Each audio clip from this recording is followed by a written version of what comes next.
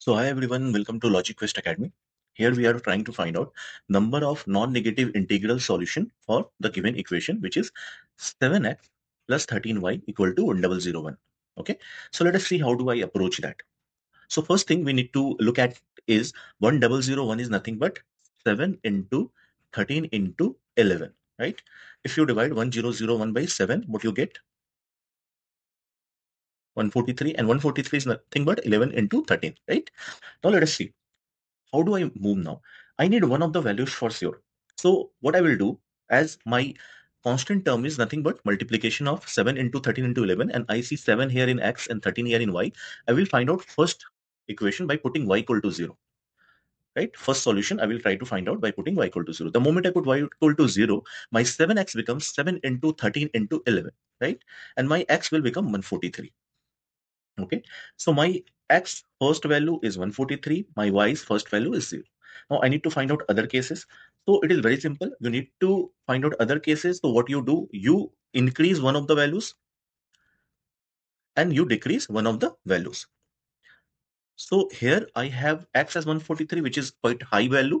Then i will try to decrease it to get other integral values for x. And y as y is at 0. So I will try to increase it because if I decrease it, it will become negative solution, which is not required. We just need non-negative integral solution, which means 0 and all the positive integers. Okay. So I'm not uh, concentrating on negative solution, although we will have a solution when we decrease y and increase x then also. But for this 7x plus 13y equal to 1001, we will do the opposite here. We will decrease the x value and we will increase the y value to get the non-negative integral solution. So how does it work? So x will always be decreased by the coefficient of y. The coefficient of y is 13 and what I mean by this is that the next value of x will be 143 minus 13. So we will decrease it by the coefficient of y here and y will increase by coefficient of x. So my coefficient of x is 7 here and I will increase y by this value. y will increase by this value. Okay. And x will decrease by this value. Okay. So y's next value will be 0 plus 7. So I get y as 7 and I get x as how much? 130. So this way we can move. The x first value was what? 13 into 11. My x second value is 13 into 10. So we can move this way and we will see we can find out other values also like this. So x ka third value will be 13 into 9. Y ka second value will be 7 into 2. Similar way, if you move forward, you will see x will have the last value as x equal to 13 into 1 and y will have last value as 7 into 10 right? That way we can find out. But we will again have one value where x will become 0 and y will have some value. So let's see that case also because the moment we uh, minus 13 here 13 uh, from the last 13 value so 13 minus 30 will become 0 and y will have value as 7 into 11 which will be 77 so how many values we are getting? We are getting first value as x equal to 143, y equal to 0. And then we are getting how many values? We are getting 10 values, 13 into 10, 13 into 9 till 13 into 1. And then we are getting, so these many values, 13 into 10 to 13 into 1 is 10 values. And then there are two more values. One value is y equal to 0 and x 143 and the other value is y equal to 77 and x equal to 0. So one value here and one value here. So total how many values non-negative integral solution we are getting is total 12 solution is possible. If you want to list, so x the value is going from 143 uh, onwards, 130, then uh, 117. This way we are going till zero. So this is 13 into 11, this is 13 into 10, that way we are getting till 13 into 1 and then 13 into 0. So total 12 values are there. Similarly, y's value is going from 0, 7 into 1 till 7 into 11. So 7 into 1 to 7 into 11 is 11 values and 0 is 1. So total 12 values. So total 12 values are what we are getting in this case, right? Now, the second question is asking only to find the number of positive integral solution. In the previous question, when we found out the uh, equation is same. So when we found out in the previous question, what we got? We got the first value as x equal to 143 and y equal to 0. Then we got values as x equal to 130 and y equal to 7, x equal to 117 and y equal to 7 into 2. This way we moved forward. Finally, we got x equal to 0 and y equal to 7 into 11. So this way we got all the values in the in case. But if we are just considering positive integral solution, then two of the cases will not be applicable here. This case where y is 0 will not be applicable and this case where x equal to 0 and y equal to 77 will not be applicable. Rest all 13 into 10 to 13 into 1 and 7 into 1 to 7 into 10.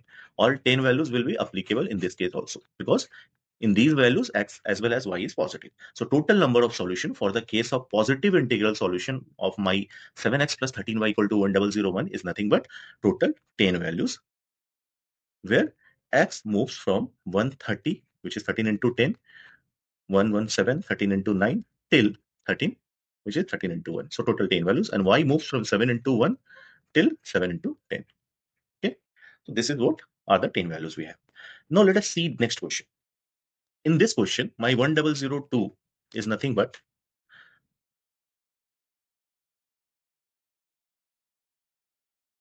Five zero one into two, right? And this will be how much? Right? 501 into 2 and i can see that this is not divisible by 5 this is not divisible by 13 i mean it is not divisible by 5 or 13 so i will need to do something else here. So let us see how to solve this question.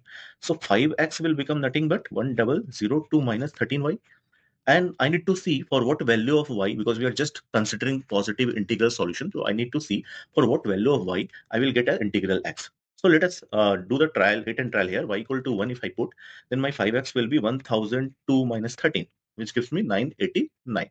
This is not a multiple of 5, so this is not a solution. y equal to 2, we get 5x equal to 1002 minus 13 into 2. So it becomes how much? 976. Again, not a multiple of 5, so this is not a solution, not giving me integral solution. y equal to 3, 5x will become 1002 minus 13 into 3. So it will become how much? 963. Again, it is not a multiple of 5. y equal to 4 if we put, 5x will become 1002 minus 13 into 4, which gives me 950. So x becomes 950 by 5, which gives me 190. And this is one of the integral solutions. So what I got, x equal to 190 and y equal to 4. This is my one of the integral solution. As I told you, one of the values needs to be increased and one needs to be decreased to get another value. So in this case, we will increase y by x coefficient. x coefficient is how much? 5. So we will increase y by plus 5 and we will decrease x by minus 13 because 13 is what? y's coefficient. So we will decrease. So I'm writing minus to decrease it by 13. So I need to find out how much such cases will arrive. So first case I have got x190 y power Second case will be x190 minus 13 and y will be 4 plus 5 which is 9. Third case x190 minus 13 into 2 and then y 4 plus 5 into 2 so 14. So I just need to see concentrate on any one of them and see how many such values are there. So to check this I will just divide 190 by 13. So 13 ones are 13, 60, 13 fours are 52. So 14 is quotient and remainder is 8. So what happens? I can go for x till 14 values.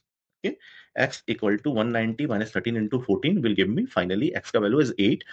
After this, when I uh, subtract 13 further, I will have a negative value, which is not required, which is not in my purview of this question. So how many values are there? 190, 13 into 1 say 13 into 14. So these are 14 values and one value was there of 190. So how many values we have got? We have got total of x is y is increasing so we don't need to check for y because obviously it will have increasing value only. So it will be a, a positive integral value only. So i don't need to check for y here because x is the limiting condition given by uh, this case. So total total 15 values will be there. My x is going from 190 and 190 minus 13 becomes what? 177 uh, then again if i uh, do subtract 13 then it becomes 164 Likewise, we get to final value when we uh, we subtract 13 into 14 from 190, which is 8. So all those values are 15 values, and these are our answer. Total 15 values are possible. So I hope you like this question. Just like and subscribe this channel. Thank you so much.